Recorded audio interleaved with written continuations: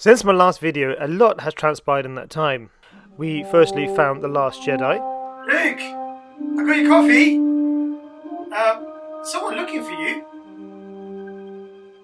No, seriously. Well, three's the crowd. I leave you two alone. I discovered Netflix and came across a lot of Stranger Things. You right? I got you a drink.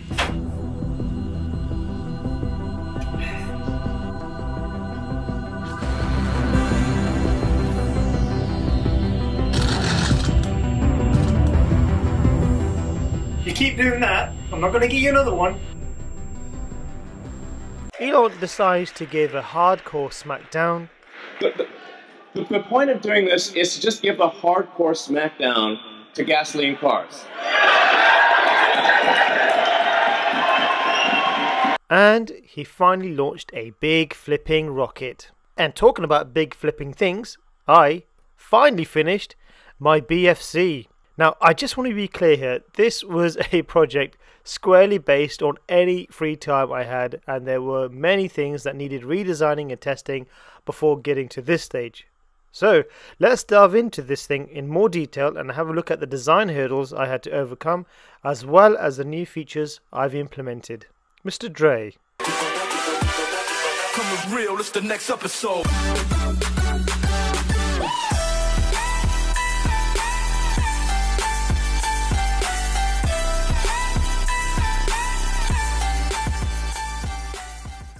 By this stage, I had already spent an unreasonable amount of time on CAD to get the design right, but even so, I still wanted to bring more useful features in this project prior to laser cutting anything. So I decided to add a removable panel that held a few helpful gauges. Things like a nifty little electrical parameter gauge with a super sexy OLED display. Now, this didn't really provide any real practical information, but for my peace of mind, it's nice to know what amps are coming in, the supply voltage for the array of TP4056s, the temperature of the load wire from the power supply unit, the time it took between charging sessions, and the amount of power used or being consumed in amp hours and watt hours. I suppose that's the nerd in me. I also took inspiration from Paul Kennett's simple battery tester, so this was a handy tool in the event a TP4056 was not engaging, then I could quickly check here if the voltage was too low or too high. And another temperature gauge to monitor the return flow pipe of the cooling liquid, just so I know that the temperature is at a safe level. So once these changes were made, it was a simple case of getting all the components made and start the sub-assemblies. Let's cue the first of many build montages.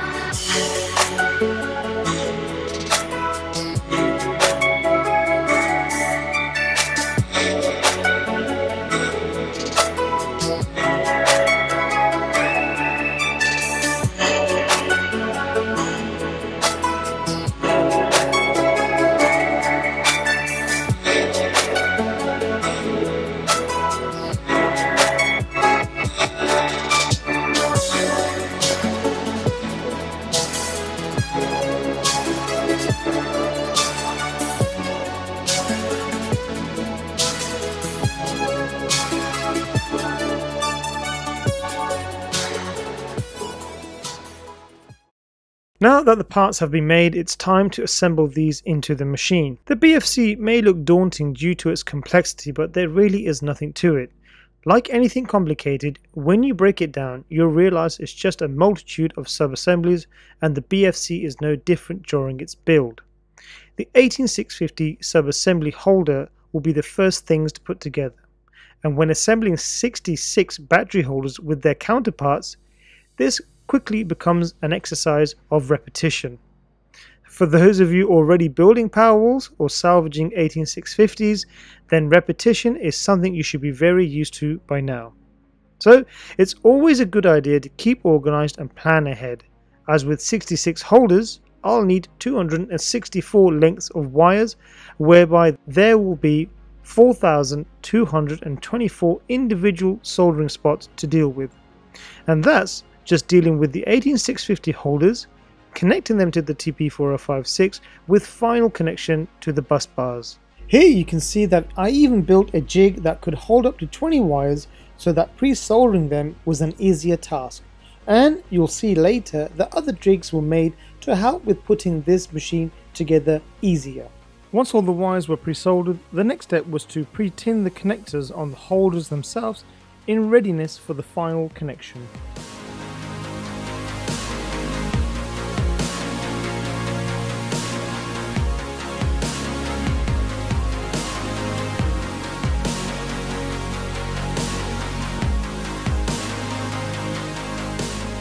There's now the 128 small wood screws are used to fit the 18650 pre-wide holders to a laser cut acrylic holder bracket that was laser cut earlier. The wood screws do a fairly good job and is the best option for fixing the two parts together as this assembly will get a lot of punishment from swapping out cells. Moving swiftly on, it was a case of rinse and repeat and this time we were pre-wiring the TP4056 modules. So to work out the correct lengths of the wires I simply dry fitted one module to determine the wiring length for them to be soldered to the bus.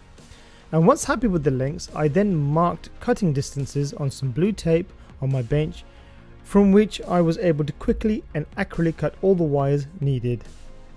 I have to say that a piece of Blu-Tack as it's known in the UK was very helpful to quickly hold the modules at any comfortable angle for me to solder the wires on. So if you're brave enough to try this build or simply need to solder wires on many modules, then this is an awesome top tip.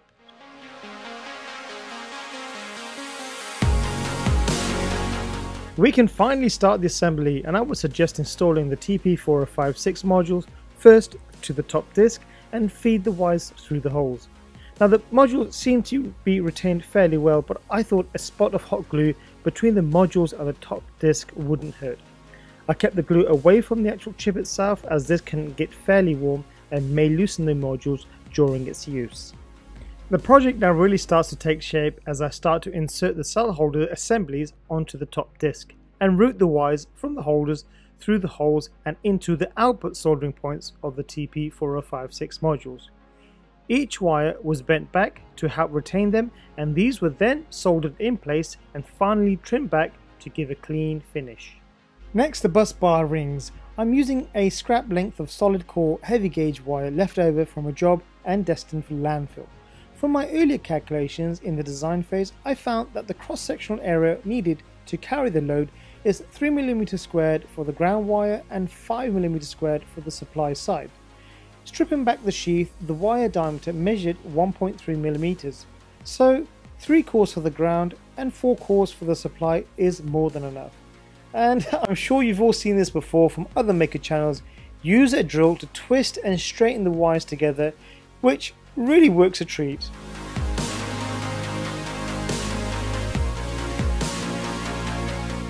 I took the liberty of creating yet another template by using a strip of card and poking three holes. One hole as the center point and the other two holes for the two radiuses needed for the 3 core and the 4 core bus wires. These buses need to be made fairly accurately as they need to route through each of the bus retainer brackets as well as being soldered to each of the pre-cut, pre-soldered wires coming from the input of the TP4056 modules.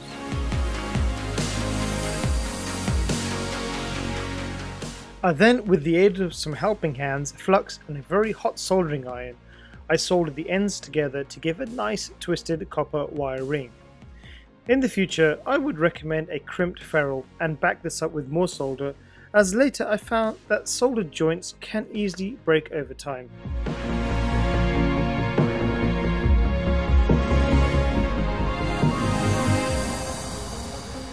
Right, onto the single most ball achingly difficult part of this build, which was the water cooled 8mm copper tube heatsink component. My initial plan was to just use a small pipe bender and turn the ends down to give us the return and flow connections within the unit. Now in my mind this looked to be an easy method but it proved to be more difficult in practice.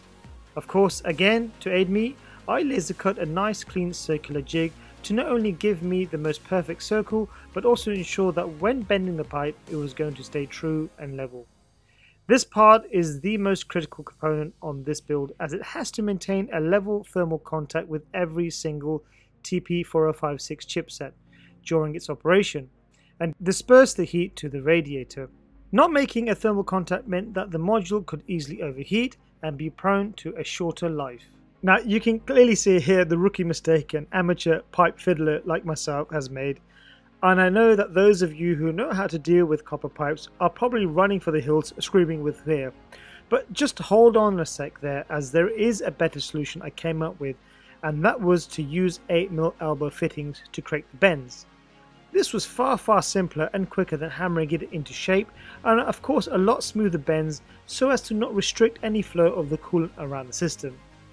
These 8mm elbow fittings were so useful that they saved the day later on during the build so stay tuned.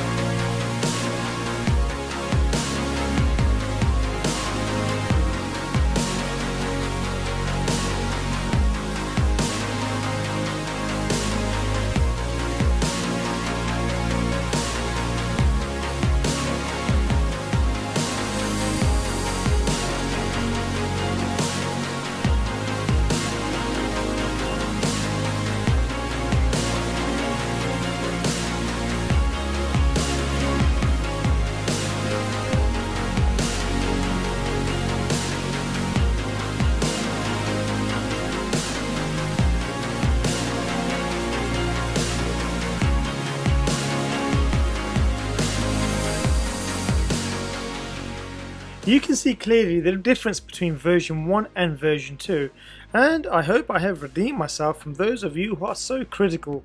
The main thing here is we're learning from our mistakes. There is a small gap we need to address which is the space between the two flow and return pipes as there is one or two modules that need to be in contact with the heat tube. My solution was to cut a small sliver of copper and solder these to close the gap but I found this to be very fiddly and a challenging task and so in the end just opted for a small length of nickel strip and soldered this to close the gap. That should give us enough thermal contact to transfer the heat to the heat pipe. After this I gave the pipe a good rub down using some Scotch-Brite and now needed to address the issue of a potential short circuit when this pipe is installed due to the copper's excellent electrical conductivity. For me, clearly the best solution was to use 10mm Kapton tape as it too has good electrical resistance, excellent thermal conductivity, and is general, durable, hard wearing and adheres well to most substrates, including copper. Unfortunately, the tape itself is not very stretchy, so I had to cut lots of 6cm lengths and tape this round. Now, if you're lucky like me, then maybe you have the M1000 electronic tape dispenser, which handily deploys preset lengths of tape at a touch of a button very handy. I know, I know, I do make the simplest task a dramatic one, but if you could, wouldn't you?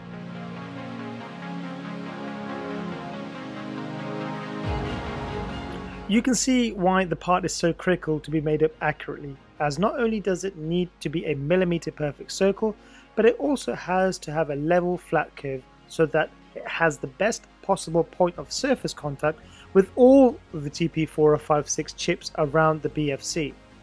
To further improve every chance of this thermal contact, I also employed the use of some thermal paste, which not only made up any height variation over the pipe but also increased the area of contact over the entire chip and an equal or greater area on the thermal pipe itself. Before you ask, this paste has no electrical conductivity, so it's safe to use liberally. Finally, the 3D printed clamps help retain and provide a downward force on the pipe to further maintain that point of thermal contact.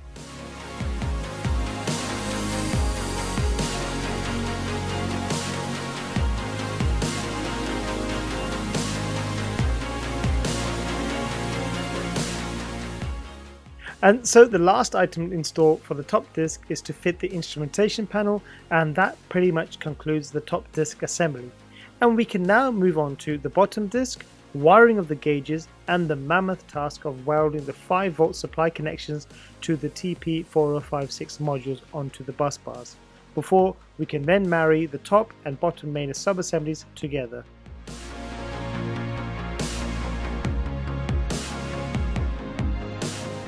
Thank you very much for joining me on this build and please do come back to see part 2 which will include major hurdles I had to overcome, as well as the full reveal and operation of the big flipping charger. And there is to be a follow-up project that slots in nicely with the 18650 recovery operation that I'm muddling through. I hope some lessons were learnt today, share the knowledge and let's get together for a better tomorrow.